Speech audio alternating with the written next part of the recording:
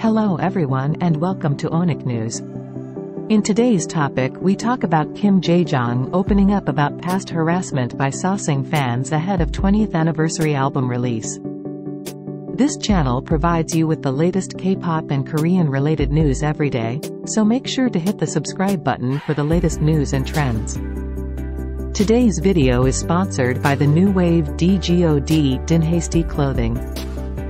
Grab their free shirts giveaway by following them on Instagram at Dinhasty Clothing and comment which shirt you like from their website www.dinhastyclothing.com.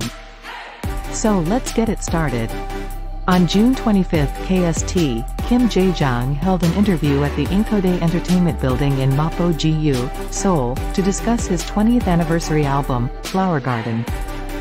During the interview, he talked about the track, Don't, from the album, explaining that the lyrics include lines like, Don't call, and, Don't follow. He candidly shared his experiences, stating, as someone who has probably been most tormented by Sasaeng fans in Korea, there were times I thought about escaping to another world if I couldn't escape from them in this one. He added as someone who has probably been most tormented by Sasaeng fans in Korea. There were times I thought about escaping to another world if I couldn't escape from them in this one. Jaejoong referenced singer IU, who had taken a strong stance against such fans by legally challenging them. IU once said that these people aren't fans, and she's right. Just because someone likes you doesn't mean they should be forgiven for criminal behavior. IU was one of the first to change this perception.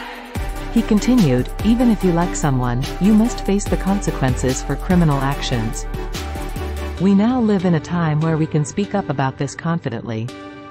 Thank you, IU, he concluded with gratitude. Kim Jaejoong's 20th anniversary album, Flower Garden, will be released on June 26 at 6 p.m. KST. What do you think about it? Please let us know in the comments. This video was sponsored by DGOD Dinhasty Clothing. Don't forget to grab your free shirt by following them on Instagram at Dinhasty Clothing and comment which shirt you like from their website www.dinhastyclothing.com. Subscribe to our channel and get the latest K-pop and Korean related news every day. Thank you for watching and have a wonderful day.